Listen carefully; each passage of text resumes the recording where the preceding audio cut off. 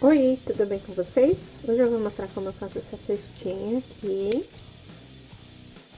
Reaproveitando caixinhas de leite. Para esse tamanho eu vou usar nove dessas caixinhas, fita adesiva, uns grampinhos, tesoura e caneta para marcar, régua e cola quente. Então, depois de utilizar o conteúdo, vou higienizar as caixinhas, ergue as abas, corta aqui Aí é só lavar direitinho, deixar secar, corta essa parte toda.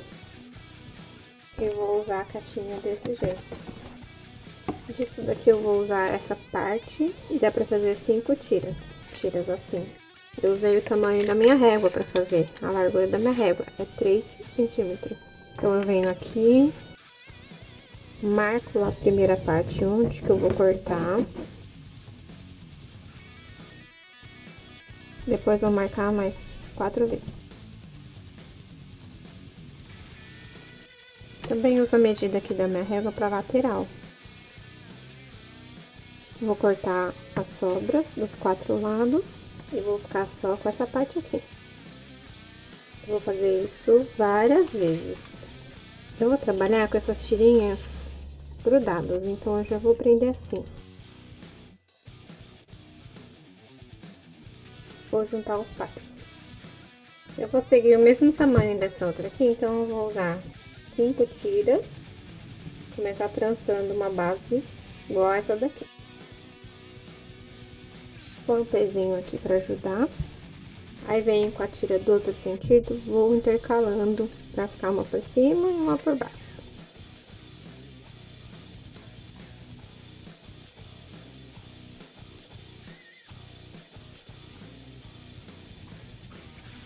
Eu vou fazer o contrário.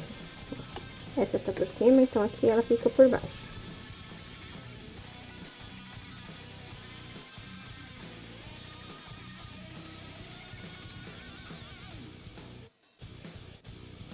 Eu vou intercalando. Aí, essa próxima eu faço o oposto dessa, então vai ser igual a essa.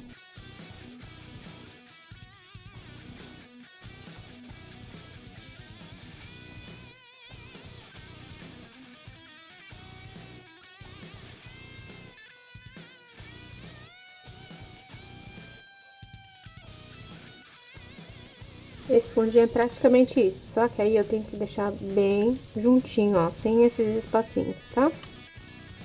Só ajeitando aí direitinho. Em algumas partes eu vou pôr um pouquinho de durex pra ajudar a firmar. Não ficar soltando. Eu tinha colocado tirinha a mais aqui, eu queria só 7 por 5 já corrigi. Nesse ponto aqui, quando a gente vai fazer as laterais, é que define se você quer o prateadinho pra dentro ou pra fora.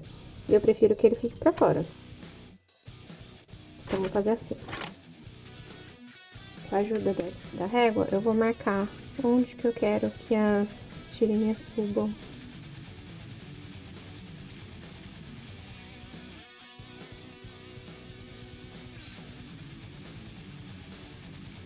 Vou medir aqui em torno para fazer a tirinha que vai ficar nas laterais essa tira aqui, ó. Ela tem que ter o comprimento pra poder dar essa voltinha aqui.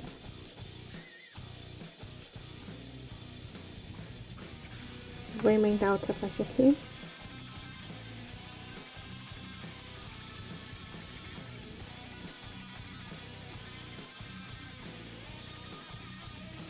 Vou fazer três dessa mesma medida, tá bom?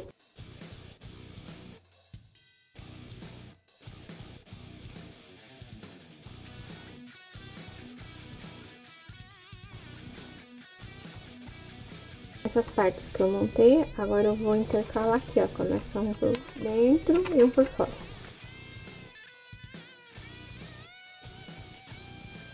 Vou pro outro lado, intercalando também, por fora, mais por dentro.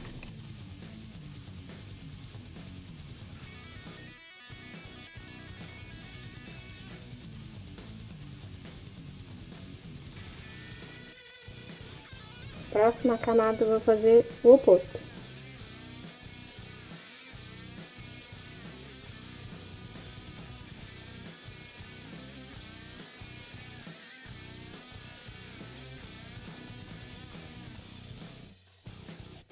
E a última o contrário do anterior.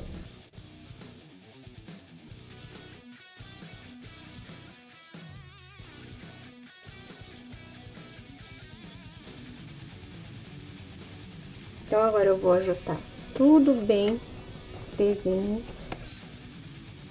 Vou descer isso daqui pra ficar bem justinho.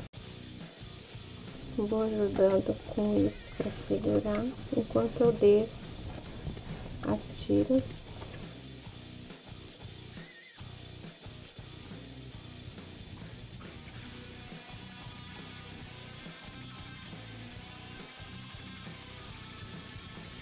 Eu vou dobrando aqui.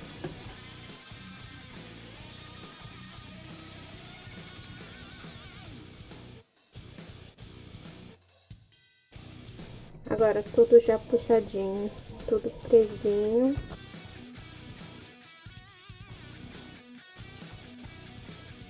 Cortar as sobrinhas aqui.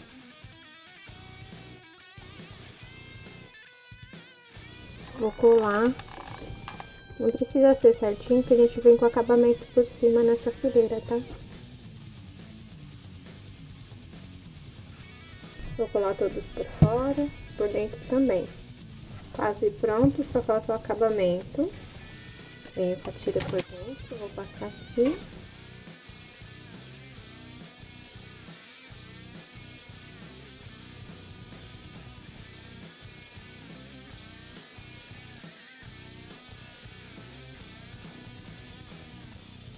E uma de acabamento por fora também.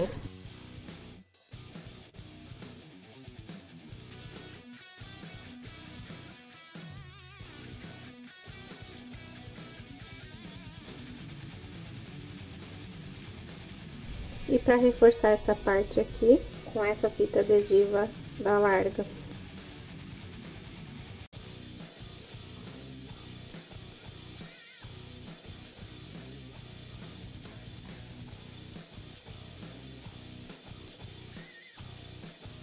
Se quiser, pode passar uma fita de acabamento, pode enfeitar de outras formas também. Eu prefiro assim mesmo. Vou lá mostrar agora onde eu vou usar essa daqui.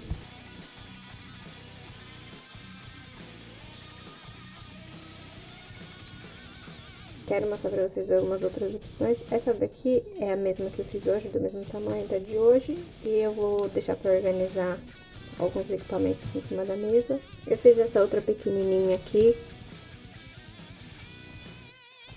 São cinco fileiras por três, só subir aqui uma vez, desse mesmo tamanho. Vai me ajudar na hora de costurar. Também quero mostrar essa daqui que eu fiz há muito tempo, tem o vídeo dela, vou deixar no card.